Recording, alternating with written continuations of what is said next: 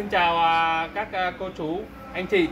Ờ, hôm nay à, có một cái bác bác tới bác mua hai cái bình thủy tinh có khoan vòi.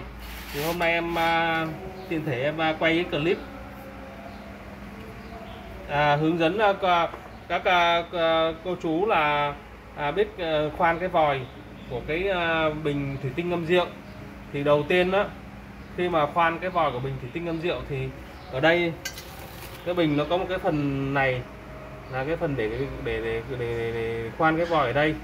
Thì trước tiên là mình muốn khoan vòi á thì mình lấy cái bút mình, mình viết à, một cái vòng tròn đây để mình à, định hướng được cái mũi khoan. Và để khoan cái vòi bình thủy tinh á thì mình phải có cái mũi khoan nó như thế này. Rồi à, khi mà mình chuẩn bị khoan vòi á thì mình à, nhét à, nhét cái à, cái giấy à, giấy vào đây. Để cái giấy này nó giữ được cái độ độ nước ẩm của cái muối thủy tinh. À, sau đó mình nhúng cái à, cái muối à, khoan vào à, nước để hút hút cái à, nước à, cái lượng nước lên. Để khi mình khoan vòi á, thì à, vòi thì cái cái bình thủy tinh này sẽ không bị nóng, nó không bị lứt bình. Và sau đó thì bấm khoan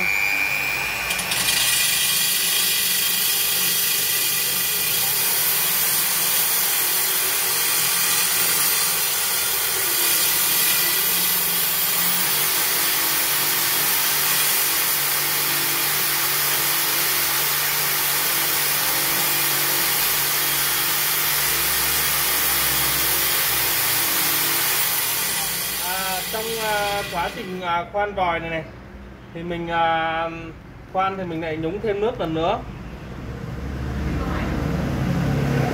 Để cho cái thủy tinh nó không bị nóng.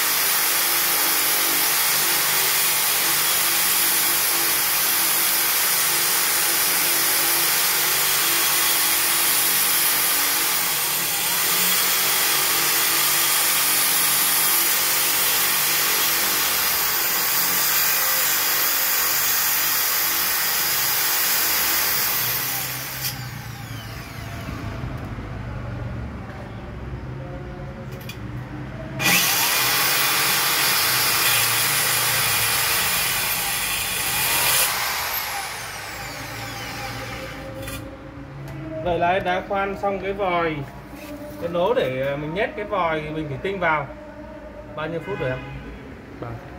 rồi à, để sau sau khi mà khoan xong cái vòi này rồi thì mình nắp vòi. Sau và sau này em sẽ làm cái clip để hướng dẫn à, à, các à, các à, cô chú nắp cái vòi bình thủy tinh ngâm rượu. À, cảm ơn à, cô chú anh chị đã xem cái clip của em. Và nếu mà cô chú anh chị cảm thấy cái clip này à, hữu ích thì à, cô chú anh chị à, hãy chia sẻ cho mọi người cùng biết nhé. Rồi xin chào cô chú anh chị.